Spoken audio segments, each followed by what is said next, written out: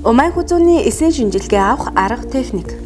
Умайн хүзүүний эмгэг өөрчлөлт, өмөнгийн урдал болон өмөнг эрт илрүүлэх зорилгоор умайн хүзүүний эсийн шинжилгээг авна. Шинжилгээний хэрэглэгдэхүүн. Нэг удаагийн эсвэл ариун биелээ, нэг удаагийн эсвэл ариутгасан тол, модон хусуур эсвэл пластик сойд. Шинжилгээний тавиур шил, хаяг бичих шилний харандаа бэхжүүлэгч уусмал 95% этанолийн уусмал. Дараах нөхцөлд эсийн шинжилгээг авахгүй. Бэлэг эрхтний хурц халдвартай биений юм ирж байгаа үед бэлгийн хавтал хийснээс хойш үтрээнд тампон чихээс хийснээс хойш үтрээнд жирэмслэхээс сэргийлэх болон эмчилгээний зорилгоор эм хэрэглэснээс хойш 24-өөс 48 цагийн дотор Үйлдэлийн өмнө шинжилгээний ач холбогдлын талаар болон шинжилгээ авах арга үр дүнгийн талаар тайлбарлаж ойлгуулна.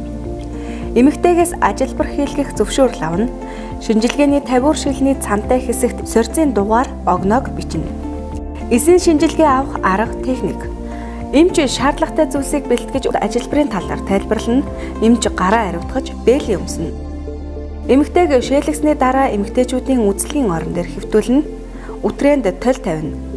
Эсийн шинжилгээ авах үед толинд тос дүрхэж болохгүй зүүн гарын эрхий долоовор хуруугаар бэлгийн их хуруулыг хоёр дэш дэлгэн толийг нээхгүйгээр босоо чиглэлд барьж үтрээнд болгоомжтой зөөлөн оруулж 90 градус эргүүлэн хөндлөн байрлалд оруулж толийг нээж умайн хүзүүг ил харагдахаар байрлуулад толийг түгжинэ. Зориулалтын сойзны урт үзүүрийг умайн хүзүүний сувагт бүрэн оруулж, умайн хүзүүний суваг болон Т зооныг хамруулан нар зөв нэг бүтэн эргүүлж шинжилгээг авна. Сойзоор авсан материалыг тавиур шилэн дээр нэгээс хоёр удаа сойзыг хоёр талаас нь хөнгөн гулсуулж түрхэнэ. Шинжилгээ авсан хэсгээс өөр газар эмгэг байвал тэр хэсгээс тусад нь арчтас авч өөр шилэн дээр түрхэж бэхжүүлэн тэмдэглэнэ. Тавиур шилэнд түрхсний дараа шууд 95% этанолийн уусмалд 10-аас 15 хоромдурж бэхжүүлнэ. Шинжилгээг авч дууссаны дараа үтрээнээс толийг болгоомжтой авч багжийг халдваргүйжүүлэх уусмалд хийн хог хаягдлыг зааврын дагуу ангилан устгалт бэлтгэнэ. Имч ажилбарын дараа гараа угаана. Шинжилгээ авсны дараа өвчтний картанд үзэлгээр шилжилтийн бус харагдаж байгаа эсэх, өрөвсөл, шархлаа бусад эмгэгүүд үтрээний шүүрэл өөр шинжилгээ авсан эсэх зэргийг тэмдэглэнэ. Шинжилгээний элгээ хуудсыг гаргацтай үнэн зөв бөглөнө. Эмэгтэйд асуулт байгаа эсхийг лавлна. Эмэгтэйд шинжилгээний хариугаа хизээ хаанаас ирж авахыг хэлж эргэж хариугаа авахын чухлыг дахин тайлбарлана. Хяналт Эмэгтэйг эргэж ирэхэд шинжилгээний хариуг тайлбарлаж өгнө. Цаашид хэрэгхийг тайлбарлаж зөвлөнө.